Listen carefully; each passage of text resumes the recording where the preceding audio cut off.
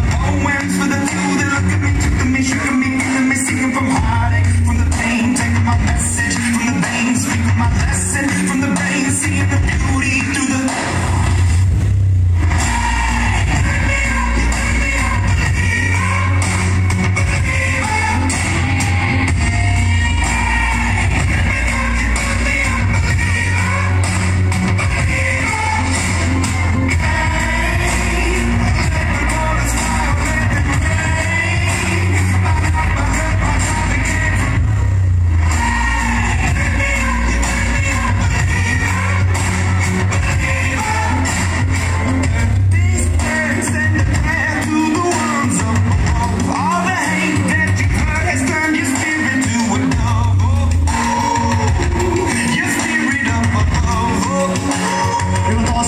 call on our female candidates, please.